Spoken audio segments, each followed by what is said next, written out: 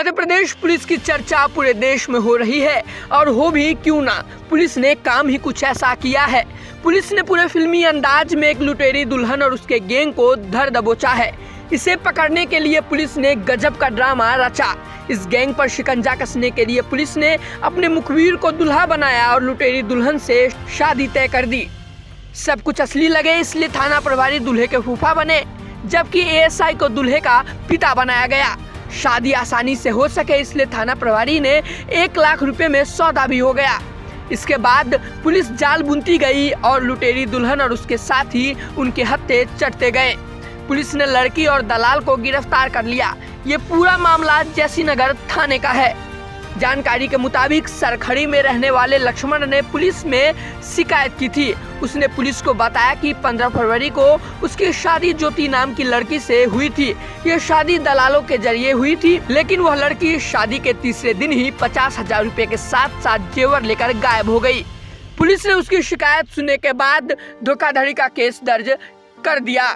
उसके बाद जाँच शुरू कर दी। जाँच चल ही रही थी कि एक हफ़्ते पहले पुलिस को पता चला कि लुटेरी दुल्हन भोपाल में है। फिर क्या था? पुलिस ने दलाल की भी तलाशी कर ली और उन्हें पकड़ने के लिए नकली शादी का जाल बिछा दिया।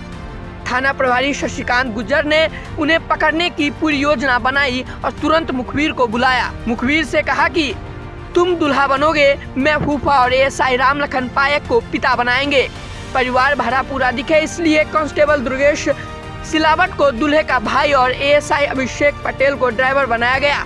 इसके बाद एएसआई पायक ने दलाल से संपर्क किया और कहा कि बेटे की शादी करानी है। दोनों ने इस शादी के लिए सौदा एक लाख रुपए में तय किया। पुलिस ने लुटेरी दुल्हन के साथियों के खाते में पाँच हज़ार रूपए भी जमा करा दिए, ताकि उन्हें किसी तरह का शक न हो। इसके बाद वर वधु पक्ष आपस में मिले और लड़की को पसंद कर लिया। इस मुलाकात में तय हुआ कि शादी सागर के परेड मंदिर में होगी। पुलिस पूरी योजना के साथ दूल्हे को लेकर परेड मंदिर पहुँच गई। इधर दलाल लुटेरी दुल्हन को भोपाल से लेकर सागर आ गया। यहाँ पुजारी ने सारी रस्में निभाई और शादी होने लगी। लेकिन योजना के मुताबिक वर पक्ष वरमाला लाना भूल गया था। इसके बाद फूफा को फ़ोन किया गया और वे वरमाला लेकर मंडप पहुँचे। इसके बाद पुलिस ने लुटेरी दुल्हन और पूरी गैंग को पकड़ लिया। दुल्हन ने बताया कि उसका असली नाम रजनी अहिरवार है। वह रहली की रहने वाली है। उसके साथ उसका दलाल गुड्डू पटेल भी था। वह भी रहली का रहने वाला है। इस तरह पुलिस ने अपनी सूझबूझ से इस गैंग को गिरफ़्तार कर लिया।